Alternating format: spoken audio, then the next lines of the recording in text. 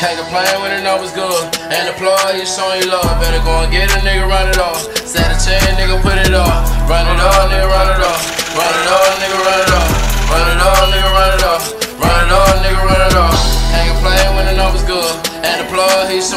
Better go and get a nigga, run it off. Nigga, run it off. Run it off. Nigga, run it off. Run it up, nigga, run it off. Run it up, nigga, run it off.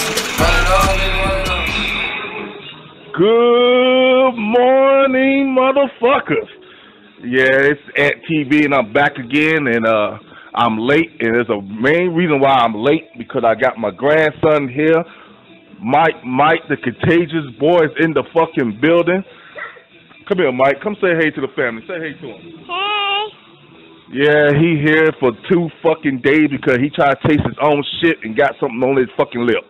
So that's what I'm talking about. But guess what, people? The cartoon world is at it again after that Alvin the Chipmunk motherfucking interview yesterday. Let me get to these tweets. Tinky Winky said, whipped his ass album. Ah, damn, Tinky Winky. Good crazy. Robin, the boy wonder, said, Smurf your way out of this one, bitch. Oh, man, shit. Optimus Prime even chimed in, people. Optimus Prime put up, tweeted, Alvin, Alvin, Alvin. Donald Duck tweet this shit, y'all. Check this out.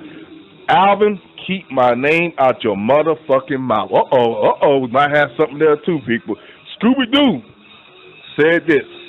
Someone calls Don King because Mayweather and McGregor fight won't have shit on this one. Damn. Oh. hey y'all, let me say, and then Cinderella turn around and tweet.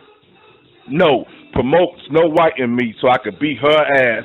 Now, y'all, I'm gonna give y'all a little insight on the Cinderella and Snow White beef.